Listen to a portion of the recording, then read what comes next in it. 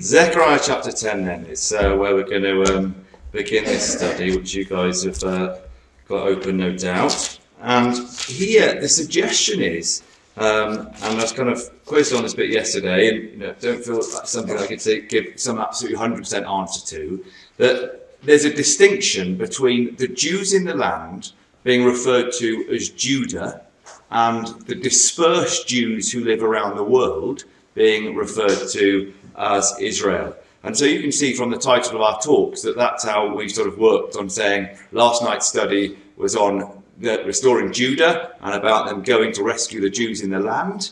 Um, and today's study is going to be more about the Jews um, who are living around the world and then coming back in to the land. So it's not something that all the time feels super consistent. Okay, so you've got to like still I think give it some thought. But I do think we can see it here.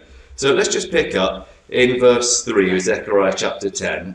Mine anger is kindled against the shepherds, the leaders, and punished, uh, punished the goats, for Yahweh of hosts has visited his flock, the house of Judah, and have made them as his goodly horse in the battle. So we're suggesting that's talking about the Jews in the land, but then when we keep going, we realize that there are still Jews who are scattered, who are living elsewhere. So um, verse 6 says, I will strengthen the house of Judah, those people, I'll save the house of Joseph, and I will bring uh, them again to place them, for I have mercy upon them. So there's the idea that Joseph is the ones who are scattered around the, the, the earth. So when it's saying then in verse 8, I will hiss for them and gather them, for I have redeemed them, and they shall increase as they have increased. That, that these people are going to be called, hissed, uh, like a shepherd calling for uh, sheep and they're going to uh, come in.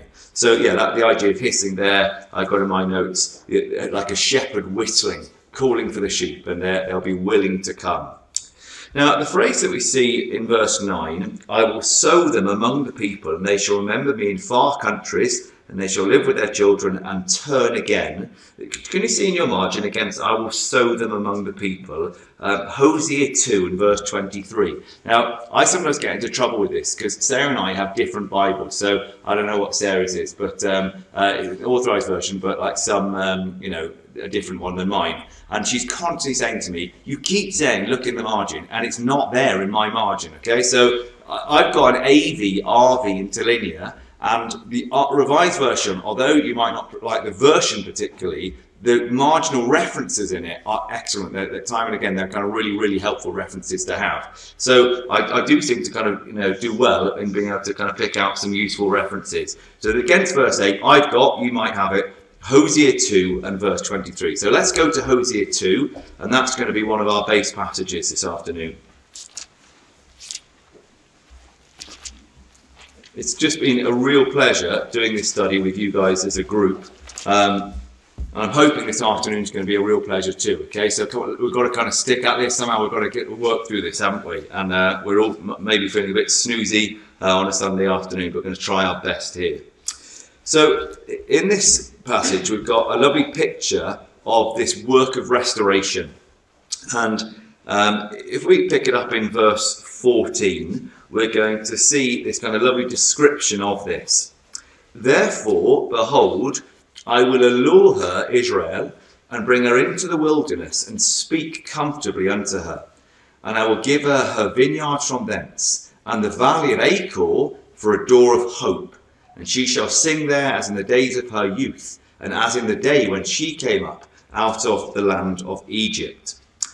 And it shall be at that day, saith Yahweh, that thou shalt call me Ishi, and shalt call me no more Baali. For I will take away the names of Baalim out of her mouth, and they shall no more be remembered by their name. And in that day will I make a covenant for them with the beasts of the field, the fowls of the, the heaven, the creeping things of the ground. And they will break the bow and the sword and the battle out of the earth, and I will make them to lie down safely. And I will betroth thee unto me forever. Yea, I will betroth thee unto me in righteousness and in judgment, and in loving kindness and in mercies. I will even betroth thee unto me in faithfulness, and thou shalt know Yahweh. And it shall come to pass in that day, I will hear, saith Yahweh, I will hear the heavens, and they shall hear the earth. And the earth shall hear the corn, and the wine, and the oil, and they shall hear Jezreel. And I will sow unto her, uh, sow her unto me in the earth, and I will have mercy upon her that have not obtained mercy. And I will say to them which were not my people, Thou art my people. And they shall say, Thou art my God. So it's like a beautiful, it's like all these things, very, very poetic. You've got to take some time to try and dig up the images and understand what's being said, and we'll try to open up some of them shortly. But I think in the end it's summed up in chapter 3 and verse 5 when it says, He's going to retouch, sorry, after which shall the children of Israel return and seek Yahweh their God and David their king. Uh, and shall fear Yahweh and his goodness in the latter days. So, of course, this can't possibly be talking about David as a person. David has, has you know, fallen asleep long before Hosea was writing. He's using that as an image to help them to think about the fact that it's going to be that kingdom restored, but in the Lord Jesus Christ. So, we might be able to kind of, I'm not going to just bring out that just there, but start seeing some of the connections to uh, the idea of the work of Elijah here. Um, and certainly, as I say, the reference to David being their king is a sure reference to the Lord Jesus Christ being on the throne of David. Now, th- there is a lot here, and we're going to try and bring some more of it out. But um, I want you to sort of just pick out, first of all, just look back to Zechariah 10 for a moment. So hold Hosea 2, look back to Zechariah 10. and we noticed in Zechariah 10, we got this phrase which is the one that drew us to Hosea 2, in verse 9, I will sow them among the people. And my margin had Hosea 2 in verse 23. And the reason it would have had that is because that's the meaning of the name Jezreel. God will sow. So back in Hosea 2 in verse 23, this idea of Jezreel is the idea of God sowing, God being with them, being able to give them the fruit of the land now. And what we're seeing then is the place that Elijah gave up. Where did he give up? At the end of 1 Kings 18? Jezreel, now being turned by God into something incredible. People are now, the Jews are coming into the new covenant. And we know that it's the new covenant that's being spoken of there, back in Hosea 2 again, um, verse 18. I, I would with confidence say that the covenant being spoken of there is the new covenant, the gospel, the promises to Abraham. You know, they're synonyms for the same thing when we're talking about that. That the new covenant is one that's going to last forever, it says, verse 19. And verse 20, it's going to be based on faith. So do you see, this is what the new covenant is all about, the promises to Abraham. We also note that the valley of Achor in verse 15 is turned into a door of hope. Now, if you again do a bit of study here, look at your margin for Achor, and my margin says that Achor means troubling. And I thought it was interesting that um, there in 1 Kings 18, I've given you the reference on the screen, in speaking to Ahab, Elijah has to say to him, I am not the troubler, I've not troubled Israel, but you and partly because you've got us following Baalim. And God is now saying that the valley of Achor, that valley of troubling of pe- when people are going after Baalim, is going to be turned around. Those aren't going to be the days anymore. So it says in verse 13, I will visit upon her the days of Baalim. That's not going to happen anymore. Verse 17, I will take away the names of Baalim out of their mouth. Okay, the door of troubling the, uh, the valley of Achor, sorry, the, uh, the valley of troubling is going to be turned now into a door of hope.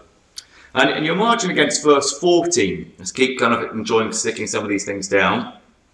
He says, I'm going to bring you into the wilderness and speak comfortably to her. There you'll see against your margin that that means to speak to the heart. And again, I just all the time when I'm thinking, okay, we're looking at the restoration of Israel here. What is the restoration of Israel? It's about Israel coming back in. We know that there's somebody involved in that. We know his name is Elijah. We know that it says of him that his work is to turn the hearts of the father to the children and the children to the father. So, again, all we're doing when we're looking at these things is thinking, that's interesting. We're looking at passages about the restoration of Israel, and what we see are echoes into what happened with Elijah. So, so perhaps we are not being unfair to say that this is Elijah's work that we're speak, looking at here. We, also see um, from verse 15 that it says at the end of the verse that them coming back to the land is going to be as in the day when she came up out of the land of Egypt. So, in other words, it's going to be an exodus. Okay, so there's the connections we've just been having a little look at. And there, as in the days when she came up out of the land of Egypt, it's going to be as an exodus. And we're not surprised, are we, at the idea of the exodus language, because we remember that Elijah stood with Moses um, having first of all stood like Moses on Horeb, we saw that in 1 Kings 19 yesterday, and being taken back to Moses. But then, even more significantly, we saw him stood at the Mount of Transfiguration with the Lord Jesus Christ, and we know that they discussed the Exodus. So perhaps in discussing the Exodus that had been, in discussing the Exodus that the Lord Jesus Christ would lead, the ultimate one that would lead us out of sin, They'd also look forward to the time when Elijah too would lead an exodus of people who would want to come in to the new covenant, uh, Israel. Now, we also think from verse 18 that the Gentiles are involved in this. So look at this in verse 18. I'm going to make a covenant with them. So that's Israel, but it's going to be with the beasts of the field, the fowls of the heaven, the creeping things of the ground. Well, when I look that up, okay, what I come across is Acts 10 and verse 12. And can you remember Acts 10 is the reference where Peter is shown by God um, a vision of these things to say to him, What God has called clean, don't you call unclean. And it has to learn from that that the Gentiles are going to come into the hope of Israel, and he has to recognize that. So when it's saying here in verse 18, we look at it first of all and think, what? Know, what's that about? Uh, understandably. But actually just being willing to compare some scriptures with scriptures, looking these things up, we think, ah, perhaps that's what this is about. It's about the fact that we, uh, Israel, are going to be part of these promises. That's true. And it's also going to involve the Gentiles in this. So no wonder then it says in Zechariah chapter 8, remember this passage we touched on? In those days it shall come to pass that ten men shall take hold out of all languages of the nations, even take hold of the skirt of him that is a Jew, saying, We will go with you, for we have heard that God is with you. So, this covenant that God is making know, with Israel, yes, Israel are God's special people that He's using to bring about His plan and purpose. But God wants all people. How, how, do we know that? Well, absolutely we know that. You know, you could go back to Shem, Ham, and Japheth and just see that. Okay, if you went into the early chapters of Acts and, and looked at the, the, baptisms that take place, you'd see immediately that God wants all people. If you look at the individuals who are baptized in Acts, you'd see that God wants all people. Think about the individuals that you know that were baptized in Acts. You'd first of all get to Acts 8. What would you have there? Come on, this is interactive. Let's have it. Come on, Sam. Acts 8. Superb. Ethiopian eunuch. Okay, so where would he have been a descendant of? Shem, Ham, or Japheth? Ham. Ham. Excellent. Okay, Acts 8. Acts 9. Who's baptized in Acts 9? Saul. Saul. Shem, Ham, or Japheth? Shem. Shem. Acts 10. Who gets baptized there? Cornelius. Shem, Ham, or Japheth? Japheth. Okay? Now, don't tell me that God isn't interested in all people. God wants all people. He's driving his purpose, though, through Israel. But certainly God's covenant is with everybody, and everybody benefits from this. Okay? So let's just keep seeing some more passages about this type of thing. Isaiah 56. The sons of strangers that join themselves to Yahweh service, they're going to do okay. Why? Because it's a house of prayer for all people. Okay? So, yes, it's got to be established somewhere, hasn't it? The place that God has established it is going to be in Israel and Jerusalem, but it's for everybody. Okay, let's have another reference. Okay, Isaiah 49. Behold, I lift up mine hand to the Gentiles. Okay, they're going to bring my son. They're going to come with the Jews too. They're wanting to be involved in this. And so that perhaps those three passages, okay, where we're going to put a note of those. I don't know, possibly against verse 18, but perhaps a better place, if we're going to have a base passage, you know, you can tell I love a base passage, okay, uh, would be Zechariah chapter 8, wouldn't it? The end of Zechariah 8, that's the place to put our notes against this, isn't it? Okay, so let's get those references there. So, Zechariah 8, verse 23, cross reference Isaiah 56, verses 6 and 7. I'm giving you time. Next one, Isaiah 49 and verse 22. We're getting to a crescendo here. This is the summary one. This is a stonker. Now, if the fall of them, the Jews, be the riches of the world, and the diminishing of them the riches of the Gentiles, how much more their fullness. So Romans 11, the restoration of Israel. The, the restoration of Israel is going to be phenomenal for the whole world. Do we see that? Yeah? That actually, yes, through their fall, that we as Gentiles have benefited and that we have had this opportunity to come into the truth. But when Israel are restored and coming back into the new or come into the new covenant, then the blessings are going to flow to all nations. It's going to be amazing, a phenomenal time ahead. So God will plead through, we believe, the work of Elijah. Those who respond are going to start an exodus, coming back into the land of Israel, the promised land. And when they come, they're going to be able to be brought into the new covenant, baptized into it. Now, a further clue in, I'm back in Hosea 2, okay, so let's go back to Hosea 2. A further clue to um, this being the new covenant is those words that we see in verse 19. So maybe you've already spotted this when we were reading this through. He says, doesn't he, in verse 19, I'm going to betroth thee unto me forever. So it has to be the new covenant because this is one that's going to last forever. I'm going to betroth thee unto me in righteousness and judgment. What should be our cross reference there?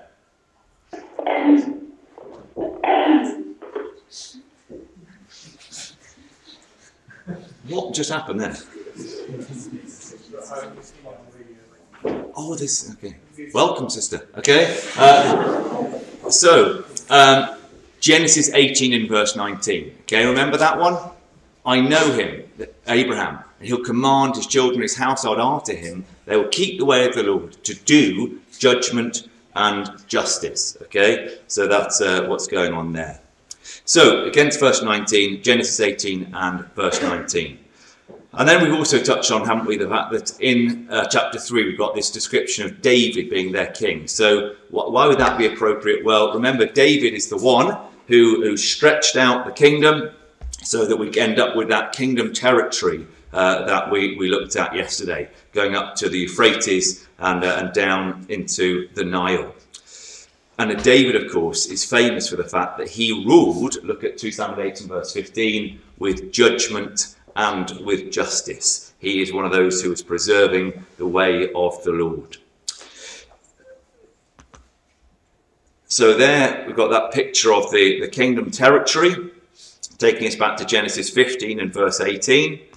Um, yeah, so we'll come on to that sh- shortly. So let's go back to Zechariah 10, okay? We, we left off in verse 9, picking up the connection to Hosea 2. But, but now let's look at Zechariah 10 and the concluding verses there. So remember, this is talking about Israel coming back into the land. I will bring them again also out of the land of Egypt from the south, and I will gather them out of Assyria from the north, and I will bring them into the land of Gilead and Lebanon. A place shall not be found for them. And he shall pass through the sea with affliction, and shall smite the waves in the sea. And all the deeps of the river shall dry up, and the pride of Assyria shall be brought down and the sceptre of Egypt shall depart away.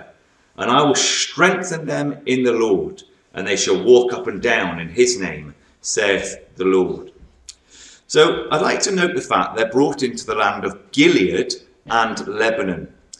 Lebanon was where Elijah began his work. So if you think about 1 Kings 17, where we first meet Elijah, Zarephath, Zarephath is in the territory of Lebanon. So I think that in itself, up in the north, that's where they're going to be coming in. And we'll also see shortly that Gilead, I think, may well have some significance here as well. But we see certainly that that initial kingdom territory, which is on the screen there, is established. So just think about that in terms of from verse in verse 10, out of the land of Egypt, the land of Assyria. There is the, the kind of borders of that initial territory of the kingdom the land that's promised to Abraham. And as the Jews journey to the land, they're either going to have to kind of come in through the Nile, it seems, or through the Euphrates. So, in a sense, we almost have a picture of them being baptized as they come into the new covenant. But all the time, I think we're right to keep underlining the point about faith because the apostle says in Romans 11, famous chapter about the restoration, if they, Israel, abide not still in unbelief, okay, they'll be grafted in. So let's just kind of turn that into the positive. When, it's when they have faith that they can be grafted in. Does that make sense? Yeah? God still wants faith for them to come into the new covenant. It's not simply that if somebody shows their passport and says, I'm a Jew, I can prove that I'm a descendant of, you know, Abraham, that God is going to say, great, you know, you, you are welcome into the kingdom. What God wants is faith. And so, as in the first Exodus, those who have had faith and will be able to go, go through will be able to have safe passage. And I think that um, Isaiah 11 describes this. This is one of those passages we slightly touched on yesterday. It's a kingdom passage, and it's all about the fact that, uh, yeah, once they uh, get to the highway, they can come in to a point of safety. Okay? Those brought into the new covenant will be given a place to live, and the land will then get split into 12 regions. So that, that's the, high, the highway that, uh, you know, so think about that highway. There's the highway at Isaiah 35. But let's just see this land being split up. So here's an impression of how the land will be split up. They picked that up from Ezekiel 48 in terms of trying to describe how it is that the land will be split. And we know that the 12 disciples will have a job to be rulers, judges over the, those 12 tribes as they're split like that. So you can imagine people coming into the land, being given somewhere to live amongst those uh, 12 tribes, Jerusalem being the capital city where the, the temple will be. The, the Jews from Judah may well have a job. So, Jews from Judah, what do we mean? We're sort of trying to talk about the Jews within the land already, may have a role in helping to convert the Jews who live elsewhere in the world. So, where does that come from? Well, come to Isaiah 66, and that's where this idea comes from.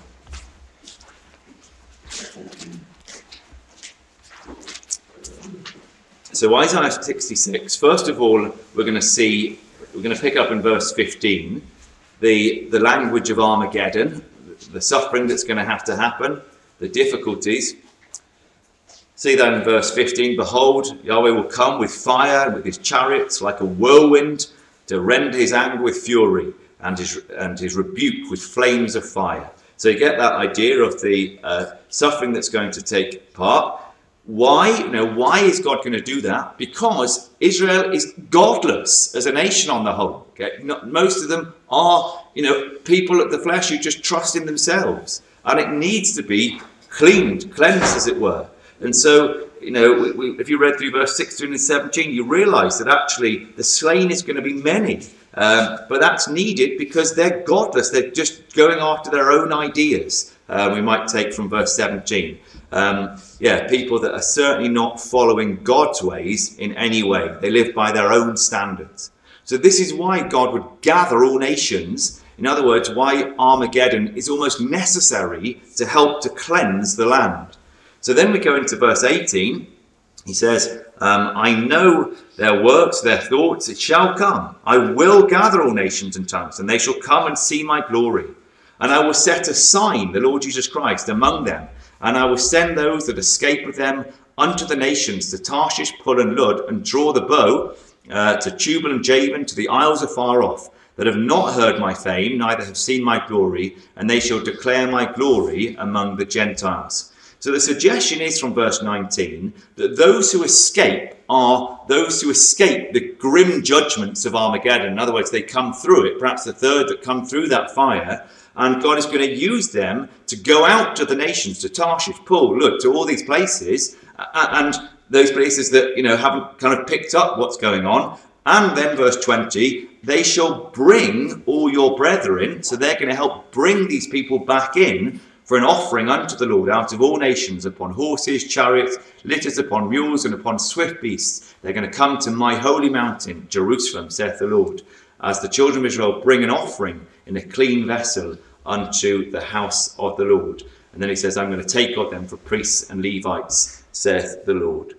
So it, the suggestion there is that in the, this process of this great judgment, that the Lord Jesus Christ is going to come, he's going to be an ensign set up in Jerusalem, and then he's going to use even some of the people of Judah. Okay, but most certainly think that the saints could be involved in this too, Elijah too, involved in going out and bringing them uh, people back into the land. The Jews coming back, Gentiles too, saying, We've heard God is with you, we want to come as well. So they'll be sent out into the nations. Now, of course, whoever, um, those who, who, are beginning that journey to Israel, not all will necessarily come with the right attitude or motive, as it were. We might ask, well, what is the right attitude? You know, what, what is it that they need to come back into the land? And I can't believe that by now you, you don't know. It's faith that God wants, isn't it?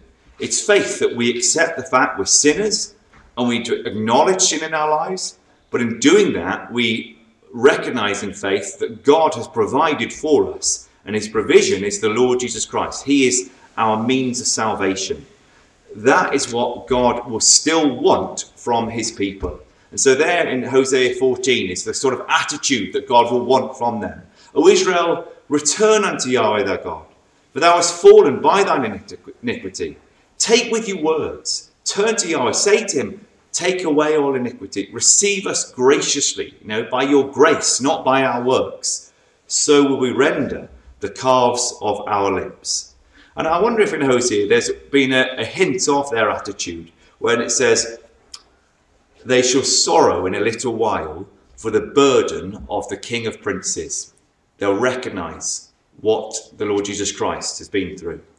Uh, and I think that that's what's going on there. It's speaking of a time when scattered Israel come to understand what Judah has by this time realized that the Lord Jesus Christ was and still is God's provision. And as Judah looked on him, they pierced and mourned. So many scattered Israelites were sorrow in their newfound understanding. But it would be foolish to think that human nature isn't still a terrible problem for mortal people. So among the Jews returning, there will be those whose motives are not good motives. They'll no doubt have heard of the blessings that are now beginning to come into the land of Israel, and some of them will be returning, we think, for purely selfish reasons. So, so why do we say that? Well, come to Ezekiel this time. Come forward to Ezekiel chapter 20. And this is the passage which would suggest that not all of those returning are coming with the right attitude of ones of faith and lit wanting to humble themselves, recognize sin in their lives, want to look to uh, God in faith and to his provision, the Lord Jesus Christ. So here we've got what we might describe as the rebels. Ezekiel 20. Verse 33. As I live, saith the Lord, Surely with a mighty hand and with a stretched out arm and with fury poured out will I rule over you. I will bring you out from the people, will gather you out of the countries wherein you were scattered with a mighty hand and with a stretched out arm and with fury poured out. And I will bring you into the wilderness of the people, and there will I plead with you face to face, like as I pleaded with your fathers in the wilderness in the land of Egypt. So will I plead with you, saith the Lord God. And I will cause you to pass under the rod, and I will bring you into the bond of the covenant, and I will purge out from among you that rebels and them that transgress against me. I will bring them forth out of the country where they sojourn, and they shall not enter into the land of Israel. And ye shall know that I am Yahweh. So, hopefully, from going through that, you can see this idea that not everybody that comes will be able to go into the land. Uh, that the rebels that, as it's described there, won't be able to go in. Now, notice how your margin in verse 35 connects to Hosea 2 and verse 14, where we were a moment ago. This is talking about the same event of Israel being regathered into the land. And as they're brought into the wilderness, those who aren't sincere will be purged out. Uh, and I wonder if another cross reference we might be able to put in our margin here is to Isaiah 27 and verse 12, where it says, It shall come to pass in that day that the Lord shall thresh, that's the idea, from the channel of the river unto the stream of Egypt, and you shall be gathered one by one, O you children of Israel. So the idea of the threshing is that you're separating, aren't you, the good from the bad. So I wonder if that uh, is a reference to this same idea here.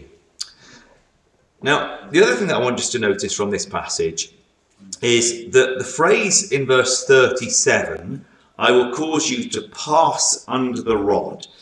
I've got a cross reference to Leviticus 27 and verse 32. Now, that's the only other place in Scripture where those words come together, and it's regarding tithing. So, very tentatively, we could speculate that perhaps of those coming in, a tenth will be taken and, and taken to be priests. They're going to be the ones who are chosen to be holy. Now, you might think, well, it, that is just a really kind of dodgy jump to kind of make that connection. And, and perhaps it is, but there is some kind of uh, backing up for the idea that some will be taken as priests from Isaiah 66. I will take of them for priests and for Levites, saith Yahweh. So I'm simply just, all I've done is, is put together a couple of references here. From verse 37, you're going to be passed under the rod. I looked that up in Scripture to pass under the rod. I come to the only other place it comes in, Leviticus 27. It's the idea that being passed under the rod, that a tenth get taken to be holy. I think to myself, what does that mean? I notice in Isaiah 66 it says, I'm going to take off some of them for priests and for Levites. So I think to myself, perhaps that is what this is referring to here. Uh, something that, you know, easy to put in, have some question marks next to. Well, let's just um, keep kind of giving some thought here because certainly those who do come in and trust in God, we see what's going to happen with them. Let's pick up in verse 39.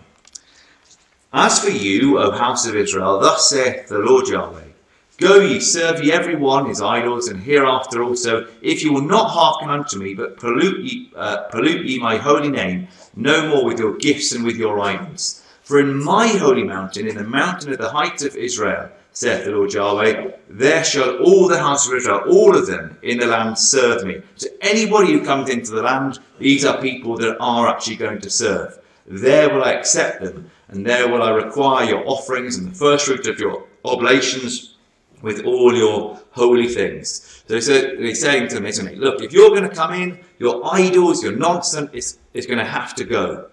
So God is super clear, isn't he? Saying, look, you're going to have a choice. Either you hear me and come into the new covenant, or you ignore me and you're an idol worshipper, and I'm not interested in you. You stay out. Now, of course, the message for us there is hear God. Get rid of the junk, the gifts, the things that we might think that God is interested in, that He's not. And no doubt all of us in our conscience know full well that there are things that we have in our lives that we know God wouldn't be interested in. Get rid of those things if we're going to come into the land. The, the choice is there.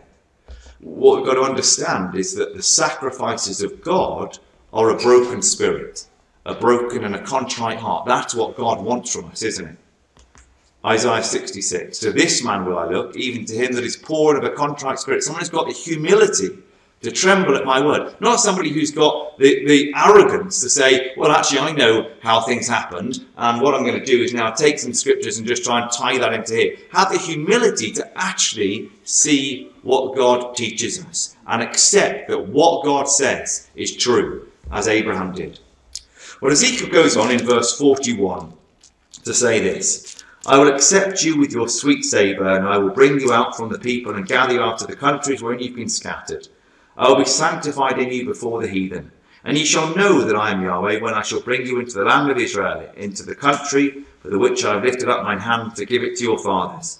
And there shall you remember your ways and all your doings, wherefore, uh, wherein ye have been defiled, and ye shall loathe yourselves in your own sight for all the evils that you did commit.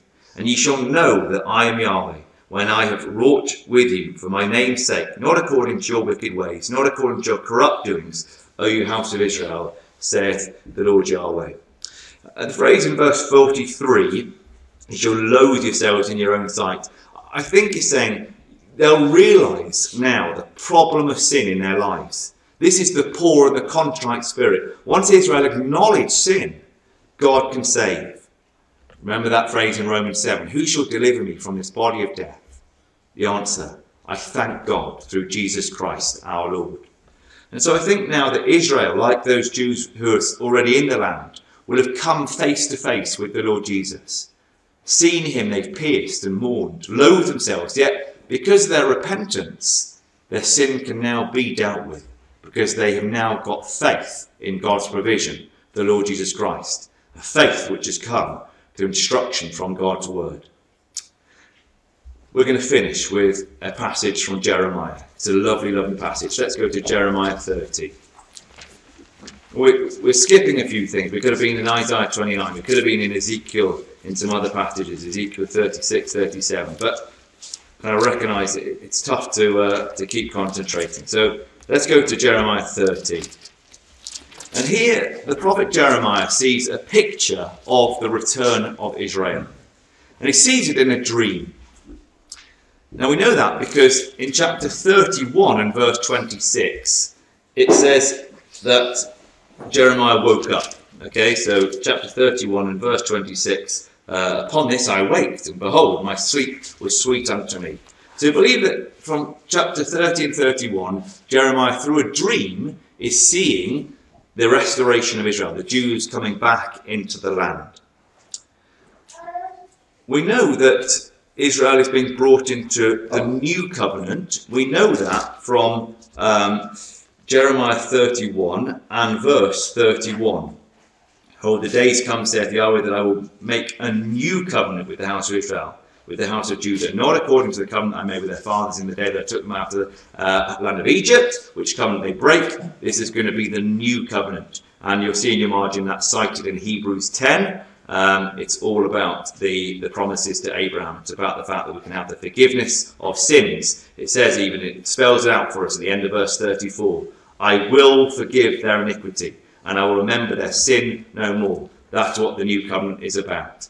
So, and again, you see that is cited in Hebrews 10 again and verse 17. Okay? So, this is what Jeremiah is seeing. He's seeing this vision of Israel coming into the new covenant. And you might also note in your margin, you can tell I love doing this, um, just keep circling these as you go because I just think they're helpful. Again, at the end of verse 33, I will be their God, they shall be my people. Hosea 2 and verse 23, Zechariah 8 and verse 8, passages that we've spent some time in already. So let's try and think about what's happening then in this dream. What Jeremiah sees in this dream is a picture of Jacob gone by, years gone by, Jacob returning from Haran. Now, Haran in the north, okay, near the Euphrates, Haran, and he's up there and he has to come back down into the land. And when Jacob did return, he had to cross the river Euphrates and he came to Gilead. Why Gilead? Well, remember Zechariah 10? That's where they're coming into Gilead. So there's a kind of picture that he's Jeremiah seeing, this vision of Jacob coming down and realizing that this is a picture of the restoration of Israel, those Jews who are going to make this same journey when they come back into the land. And I don't think it's any coincidence that Gilead happens to be where Elijah also came from. Elijah was from Gilead. That's just interesting, isn't it? We see that. I think, oh, okay, that, how fascinating that here in the restoration of Israel, they're coming into Gilead. That is Elijah's territory as well. Gilead means witness. And I think, again, it's lovely to think of this work as being about the witness of the Jews. And the Gentiles will see that if God can have mercy on them, surely they too can be saved. So let's look in Jeremiah now. You're in Jeremiah 30, 31. And let's see how, in a kind of really beautiful way, Jeremiah sees Jacob's return as prophetic of the time when scattered Israel will return to the land. So let's begin in chapter 30 in verse 7. Alas, for that day is great, there's none like it, even the time of Jacob's troubles, thinking about Jacob. You see in verse 10, Therefore fear thou not, O my servant Jacob, saith Yahweh, neither be dismissed, O Israel, for lo, I will save thee from afar, and thy seed from the land of their captivity, and Jacob shall return. Verse 18 Thus saith Yahweh, Behold, I will bring again the captivity of Jacob's tents, and have mercy upon his dwelling places. And the city shall be builded upon her own heap, the palace uh, shall remain after the manner thereof. But you can see that he's speaking there about Jacob coming in, um, thinking about this kind of covenant they're coming into. Uh, if we kept reading down to the end of that chapter, you'd get this sense of them coming into the covenant. So then, chapter 31 carries on with this theme of Jacob, and now it becomes even kind of more apparent in terms of Jacob traveling back uh, as he did from Haran. So look at this now. Chapter 31, Jacob still in mind, says in verse 7 Thus saith Yahweh, Sing with gladness for Jacob, shout among the chief of the nations, publish ye praise ye say, O Yahweh, save thy people, the remnant of Israel. Behold, I will bring them from the north country, gather them from the coasts of the earth, and with them the blind, the lame, the women with child, Interesting that Jacob, when he was travelling, had women with child with him. Her that travaileth with child together, a great company shall return thither. They shall come with weeping, with supplication will I lead them. And I will cause them to walk by the rivers of waters in a straight way, wherein they shall not stumble. For I am a father to Israel, and Ephraim is my firstborn. So you can see, can't you, that he's saying, I'm going to bring them, and I'm going to guide them back into the land. Just uh, keep looking at this then, verse 10. Hear the word of Yahweh, ye nations, declare it in the isles afar off. Say, He that scattered Israel will gather him, and keep him as a shepherd doth his flock. For the Lord hath redeemed Jacob, and ransomed him from the hand of him that was stronger than he. Therefore shall they come and sing in the height of Zion, and shall flow together to the goodness of Yahweh. For the wheat, the wine, all these things, it's going to be good uh, when they come into this land. So here in Jeremiah, it seems to me that, that this is what they're seeing. That the, he's seeing this vision of Jacob coming back into the land. And what he's actually seeing is a picture that we are supposed to unpick of Israel being able to come into the land at that time, being able to come into the new covenant. And in verse 15, Jeremiah sees how distraught Rachel would have been at the scattering of her children. But now is the ultimate regathering. So the prophet goes on in verse 16 to say, Thus saith Yahweh, refrain thy voice from weeping and thine eyes from tears. For thy work shall be rewarded, saith Yahweh, and they shall come again from the land of the enemy. And there is hope in your latter end, the Revised Version says, saith Yahweh. And thy children shall come again to their border. I have surely heard Ephraim bemoaning himself thus, Thou hast chastised me, and I was chastised. As a calf unaccustomed to the yoke, turn thou me, and I shall be turned, for thou art Yahweh my God. Surely after that I was turned, I repented, and after that I was instructed. I smote upon my thigh. I was ashamed, yea, even confounded, because I did bear the reproach of my youth. Now it's amazing to see Ephraim recognizing Ephraim scattered Israel, recognizing they'd gone astray, recognizing that God has chastised them. But now they're coming into the new covenant. And I think it's amazing that the place that he touches in verse 19 is his thigh. Why would he go to his thigh? Because Jacob, when he made that journey, can you remember that the angel touched his thigh and put his thigh out of joint. Why? To teach him not to trust in yourself, but to trust in God. So Jacob, for the rest of his life, walked with a limp, so that he had this constant reminder don't trust in the flesh, put your faith in God. And so now it's no surprise that as Israel comes in into the new covenant, the place that he touches is his thigh. After I was instructed, it says in verse 19, I smote upon my thigh, just touching it. I was ashamed, recognizing now where they were because of the reproach of my youth, what we did to the Lord Jesus Christ. So now, as they come into the new covenant, the hand touches the thigh because the Lord Jesus Christ surely is going to heal it.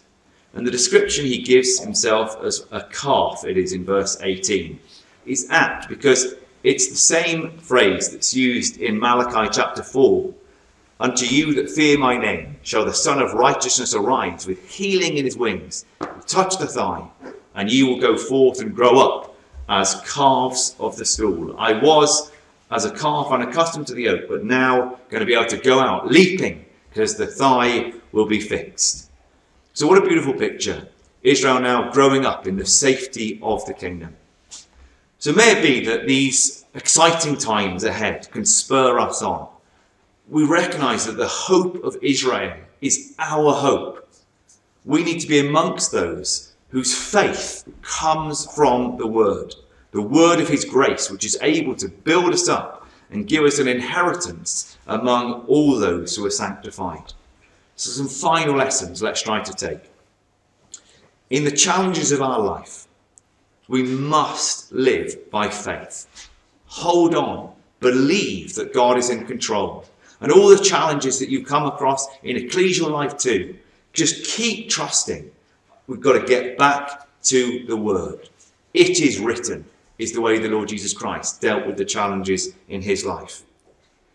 If you're struggling to see those things in your life and you have times where your faith is low, look to the example of Israel.